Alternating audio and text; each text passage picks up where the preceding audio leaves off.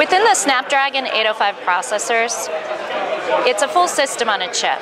So it's powering uh, the camera, audio, multimedia, as well as the GPU DS and DSP.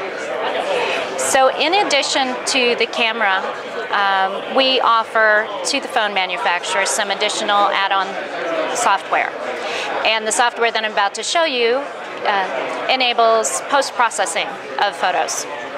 So in this case, this is called UbiFocus. When a customer takes a picture, it is capturing five different levels of depth. So basically five images of various depth. When you look at the picture, everything is in focus. The beauty of this is post-processing.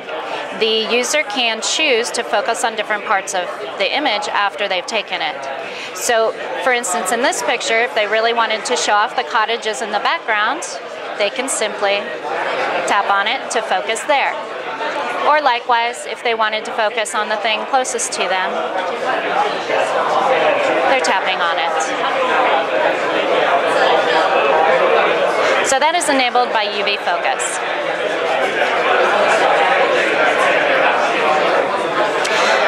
Software that's available is ChromaFlash.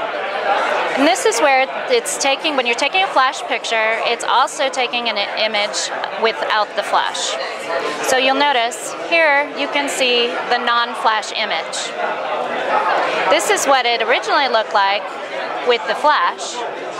And then you confuse that image to basically take the best of both worlds. You're getting the optimal uh, lighting and shading in this photograph. So again, I'll show that. That's the non-flash image. That's the flash image, and here it is fused. These are additional software that the phone manufacturers can pick and choose from, or we've got our smart camera package that they can uh, utilize as well.